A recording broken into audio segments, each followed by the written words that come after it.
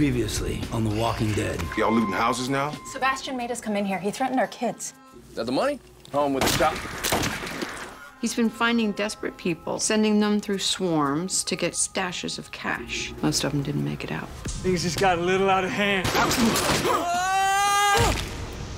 It's only a matter of time before Horns becomes these people. Then we have to do something. But if Ian didn't steal the weapons, who did?